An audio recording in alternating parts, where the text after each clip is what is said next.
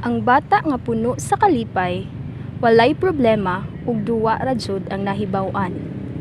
Mudagan, magdakop-dakop, magsigig pangatawa. Baskog sila kanunay tungod maayo pagkaatiman sa ginikanan. Pero unsay mahitabo kung sila di matarong og atiman sa sinugdanan? Mabuhi ba kaha nga himsog og baskog ang bata? Matud pa sa UNICEF Philippines, usa ang Pilipinas sa 66-68 ka nasud sa kalibutan nga nagaambag sa 97 ka porsyento mahitungod sa maternal, neonatal ug child health deaths sa tibuok kalibutan. Mga naa sa 11 ka Pilipinong ginikanan matag adlaw o mga 4,500 kada tuig nga mga ginikanan ang mamatay tungod sa problema sa pagpanganak o di kaha sa abortion. Kini nga mga problema mao ang hemorrhage, hypertensive disorder, sepsis o uban pang mga sakit. Maternal health care, sabot ni siya na mao ni siya angay buhaton sa mga mama nga magbuntis o hangtod sa pagpanganak. Unsa ka importante ang maternal health care tungod kay magkinahanglan yun sila o prenatal eh, pag since nga nawala ilang menses mag prenatal diretso para ma-take care ang ilang bata ikan sa pagsugod hangtod sa pagpanganak. Yeah, good to have a good prenatal para na ay sakto nga vitamins, sakto nga nutrients, pagkaon, fruits and vegetables, and exercise.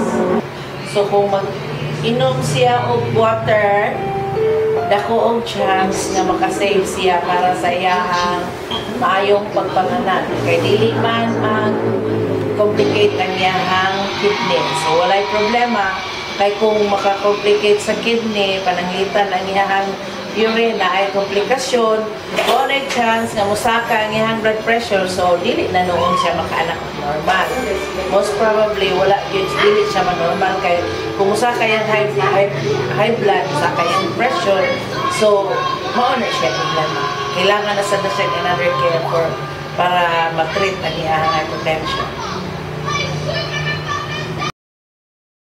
Unsay mga tips or advices nga gihatag sa mga midwife para successful inyong pagpanganak?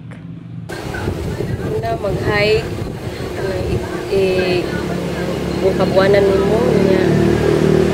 Kanang paano sakto nga kaon o mga prutas nga may mo lang i para sa imong vitamins. O kaon nga kan mo kaon og mga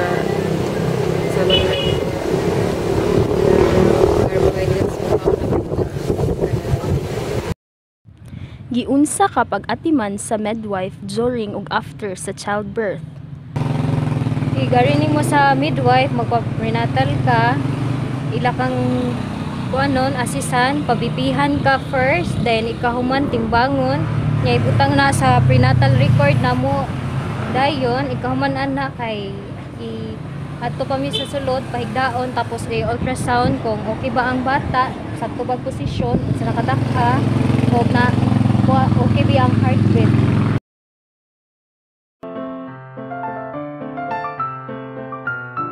Unsa ka importante nga makahibalo ang inahan about sa maternal health. Ang importante, moadto sila sa sentro. No, moadto sila sa health center or moadto sila sa kuan sa mga health provider aron mangutana sila kabahin sa ilang panglawas o sa panglawas at sa ilang bata, no? Aron sila makaibaw kung maayo ba pananglitan nagmabdos sila. Maayo ba ang ilang pagkamabdos? wala ba'y complication ang ilang pagmabdos? Maayo ba ang ilang anak? Dili ba malnourished ang ilang anak? No? Muna yung pinaka-importante, makaibalo. Pero kanang maternal, related na ni siya, pinakakuan sa mama. So, ari gud ang pinaka-importante sa sa mama. Unsay mga tips aron malikayan ang mga sakit, example, hemorrhage, hypertensive disorders, at uban pa. Ang ubang sakit sa mga mama is kaning, ang pinaka-common man gining hemorrhage. Hemorrhage is kung ano siya, mag-bleeding ang inahan. Number one cause sa hemorrhage is hemoglobin, low ka ang hemoglobin, meaning anemic ka, or kulangan kasi imong kulang na dugo. So, kana siya importante moadto gyud ang inahan sa doktor or sa health provider aron number one maka CBC siya kay diha sa CBC makita nato kung ang inahan dili ba siya anemic kay kung ibasi nimo sa blood pressure sa BP magpa BP ka dili na siya matawag kung anemic ang inahan. Adto gyud mo makita sa CBC adto gyud na siya sa laboratory makita Magkaning hypertensive, kung naiingon na ang kaning inahan, kinahanglan magpa-prenatal gyud ka o or magpa-BP gyud ka ngadto sa imong health center or sa mga health provider aron mahibawan kung taas ba ka og dugo, taas ba ka og blood pressure. Aron malikayan nimo ang mga sakit puhon, panalitang mabdus ka, inig panganak nimo, dili ka atakihon, dili ka ma-eclampsia mo na siya pinaka-importante. So, kung follow lang ka sa instruction sa mga health provider, malikayan dyan na nimo ang tanan. Number one nimong likayan sa kuan, sa kaning hypertensive ka kay dili na ka og mga parat. Dili na ka og kanang mga chicheria. O, likayan na nimo kanang mga noodles, dilata, di kaya na sa inahan aron dili na siya magka-high blood no mo na number one nga pinaka-importante kunya ang kanisang hemorrhage ang kaning hemorrhage kung low kag hemoglobin kinahanglan mo inom jud ka og ferrous. Oo. Katong mga vitamins nga naa siya ferrous. Aron maagapan ang imuhang kuan ang imuhang low og kanang hemoglobin. So, daghan pa man ang mga pamaagi nga ato siyang makop up. Like mo, inom ka o ka ng duga ng sige na ng kamuti bagay. O duga sa gay sa kamuti. Imo na siyang laghan o diyan mo na siya imong hino, himuon og tubig. Yung kaon makagaday sa baboy. Daghan ang pamaagi nga malikaya nato ang hemorrhage. Okay? Unya Napasay mga question dire number 5 unsay makuha sa serbisyo? Unsay makuha nga serbisyo og mga benepisyo aning maternal health care sa mga patients? Muna siya akong giingon nga kinahanglan gyud ka sa imong health provider aron imuhang maagapan ang tanan nimong mga gipati sa panglawas. Ug aron sad ikaw mismo pasyente nga kaybaw ka unsay bawal unsay dili. Ikaw ug sa imong anak. Muna siya ang benepisyo nindot daghang kay benepisyo nga imong makuha. No pag-atiman sa imuha. Like prenatal atiman ka. Imong anak immunization ikaw inahan pipihan ka. Matagaan kag tetanus toxoid o aron ma-prevent nga dili ka matitanos inig panganak nimo sa maabot na panahon